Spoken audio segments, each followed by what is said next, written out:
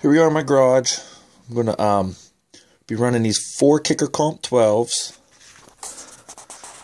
off this PPI 2 channel 2600. It's uh 300 times 2 at 2 ohms, and that's exactly what we got here with these subs, single fours, all wired up. Um, got 13.7 volts. Just going to do a quick demo here because uh, my voltage isn't the best whenever I crank on this.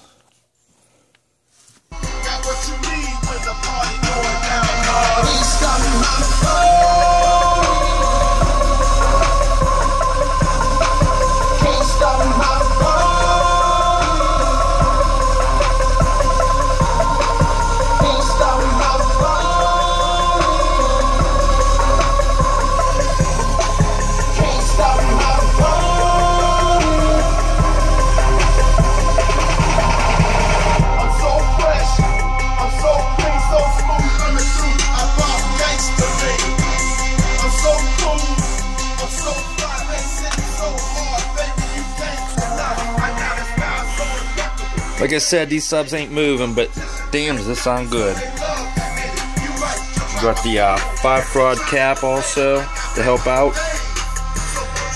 Running this uh, little cheap amp on these pair of Crunch 8s. Then the head unit's running these 6.5s and tweeters. A little bench,